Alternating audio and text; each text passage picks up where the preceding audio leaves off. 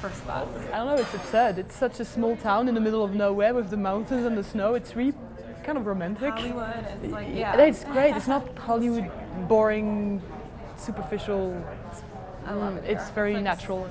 Something special about it. Yeah, exactly. and I want to see movies, but so many great movies I want to Yeah. discover. Do you get nervous when you're in the theater with everyone for uh, the premiere? Of course, yeah. I'm always nervous, but I need I, I, I need that emotion. Yeah. If I'm not nervous, then there's something wrong. Do you read the reviews? Yeah. Yeah, yeah. yeah. Bad or good, it's part of the job. I know people won't like the movie. It's always the same. People, it's it's part of it. Is and it easy for you to brush? I- yeah, I don't care. Yeah, okay. I don't like myself in in what I in movies. Uh, it's hard to like myself, so sometimes I agree with them. Really? Oh my god. But if the, the, when it's com- when it's about me, but when if the reviews if they don't like Jacqueline Argentine, I'll be sad because I I really like this movie. I really like it. I really want to talk about it. I'm very proud of Bernardo. I think Yeah. he did a great movie. He's very talented. What do you think makes a good director?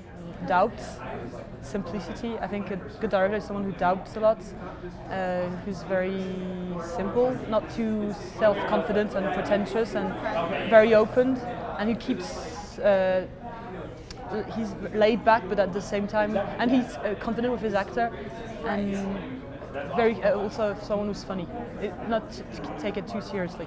When's the last time you really took a leap of faith? I, I directed a short film, and that was a that was a dream. I want to direct movies um, Oh. as well. It was great, but um, I just finished uh, the editing and everything. I had my premiere uh, a week ago in Paris, and that was a risk. Yeah, it's hard to like my film, and I can see all the problems. Right. And that was very difficult to present it in front of a audience with a lot of people that work in the film industry, f- directors, because I'm obviously I'm an, I'm an actress and like actors that direct movies, I think we all think about the, the actors and the characters more than the, the aesthetic and how it look. And I was very nervous of how people would would receive it. What would you say are the common traits all storytellers have? Generosity. Oh, I like that. What do you think sets your movie apart from the other films here? And what do you think is the most special thing? About the Jacqueline? Yeah. Well, it's all Bernardo. I think it's a special movie.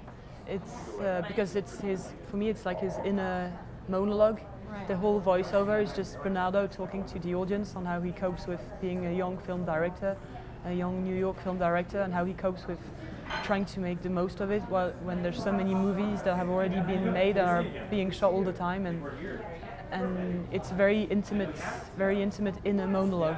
Right. And then there's, it's very special because this character I'm, I'm, I'm in playing is she's just a crazy, absurd French girl, and it was really fun to to shoot.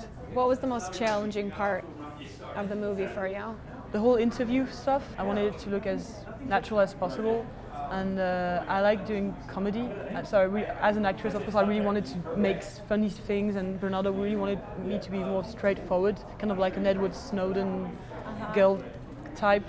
So I, I watched a lot of Edward Snowden interviews to try and look as natural and, and self-confident and he, as he is. That, that was very challenging. I didn't. I thought I was very boring. So because it's basically a lot of shots where I'm just speaking on the. Well, now in the movie it's not as much, but we it took us three days to do that just all the time, just me sitting on a chair and like we're doing now, and it's very difficult. Is that how you always prepare? It depends. I, I don't have a method. don't have I don't like having a method. I, I think I'm more in- instinctive.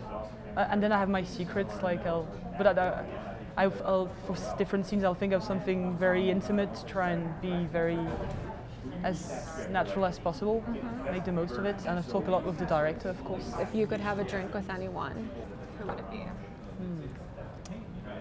Ooh la la, so many of them. Uh, hmm. Rowan Atkinson, Mr. Bean. yeah. Uh, yeah, I think he's a great actor. John Cleese as well, English actor or American. Uh, I'm sure if I. uh, Steve Buscemi, Okay, yeah. Quentin Tarantino. Okay. Oh, excellent. Love, love, love it You all. said a dream, so yeah. congratulations on on your on your film, and I know we all look forward to following your career.